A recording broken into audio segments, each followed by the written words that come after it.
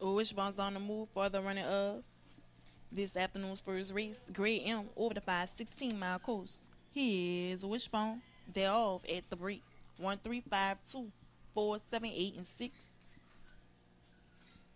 Headed up the front stretch. Around the first turn, number one, HS Daisy has the lead, followed by number five, HL's Miss Prince, number seven, AHK Miss Lily, and number three, Ace of Cinnamon.